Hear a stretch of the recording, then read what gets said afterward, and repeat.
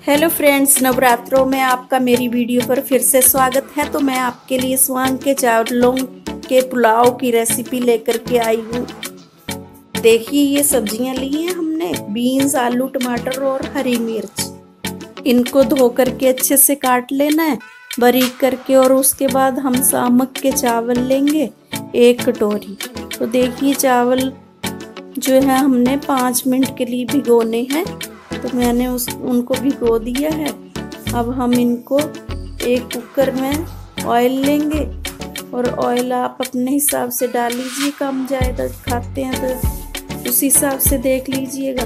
और उसके बाद जीरे का तड़का लगा करके मैंने मिर्च, हरी मिर्च डाल दी और टमाटर डाल दिए तड़के में। तो देखिए इस तरह से अब हम इनको अच्छे से भून लेंगे। देखिए सेंधा नमक डाल दिया है। टमाटर और हरी मिर्च का जो तड़का लगाया था, उसमें हमने सब्ज़ियाँ कटी हुई डालनी है, आलू और बीन्स। आलू और बीन्स डालने के बाद उनको अच्छे से हिलाना है, ताकि उनमें तड़के का असर हो जाए।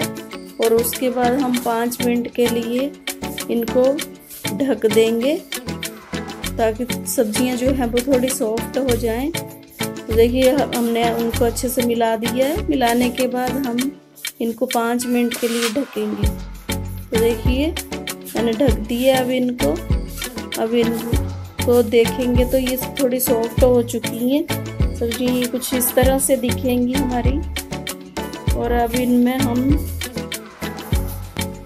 धनिया पाउडर, लाल मिर्च लाल मिर्च आप कम ज़्यादा देख सकते हैं, जितना स्पाइसी चाहिए आपको।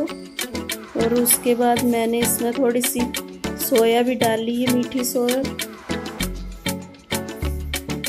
और गरम मसाला डाल दिया अब। अब इनको अच्छे से मसालों को सब्जियों में मिक्स कर रही हूँ। ताकि उनमें मसालों का असर हो जाए सब्जियों में। और उसके बाद सामक के चावल डाल दिए अब इनको अच्छे से भुनना है ताकि वो तेल छोड़े। तेल छोड़ने पर इसका मतलब होता है कि पुलाव जो है वो ज़्यादा अच्छे से टेस्टी बनेगा। ये अच्छे से मिक्स करिए इनको सब्जियों में।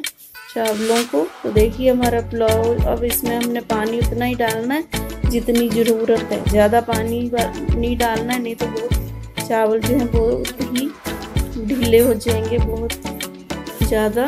तो देखिए, एक सीटी लगाने के बाद चावल जो है वो रेडी हो चुके हैं। पुलाव जो है रेडी हो चुका है हमारा पुलाव। तो आप इसको खाइए इंजॉय कीजिए। मेरे चैनल को सब्सक्राइब ज़रूर कीजिएगा। Happy Navratri to all. Thank you everyone.